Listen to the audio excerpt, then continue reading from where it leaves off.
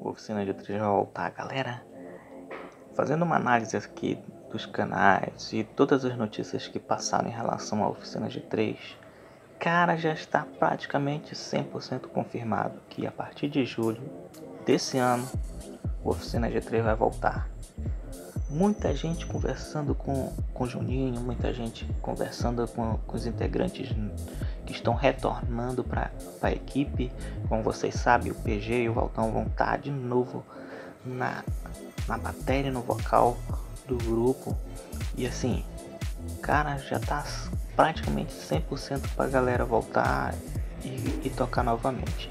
Mas aí o que, que impede deles estarem no palco agora fazendo um show, uma, um som pra galera? É o seguinte, nós, os, os fãs, entendeu?